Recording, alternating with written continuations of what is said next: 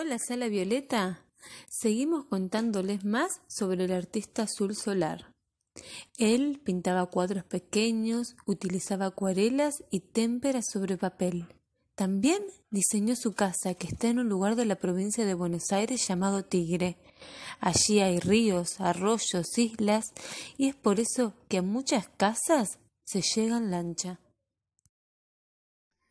Les proponemos que miren la siguiente obra de Sul Solar y nos cuenten cómo se sostiene esa casa, por qué tendrá esos palos debajo, cómo se sube a la casa, qué figuras geométricas pueden descubrir en esta obra de arte, qué colores utilizó el artista.